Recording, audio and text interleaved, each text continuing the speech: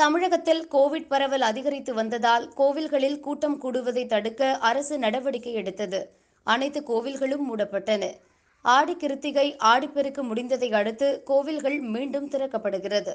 ஐந்து நாட்களுக்கு பிறகு திருத்தணி சுப்பிரமணிய சுவாமி கோவில் திறக்கப்பட்டது. வழக்கம் போல் பக்தர்கள் தரிசனத்திற்கு அனுமதிக்கப்பட்டனர். இருப்பினும் குறைந்த அளவே பக்தர்கள் வருகை இருந்ததால் கோவில் வெறிச்சோடி காணப்பட்டது.